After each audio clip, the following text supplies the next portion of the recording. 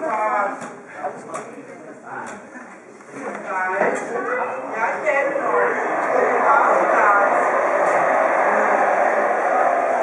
là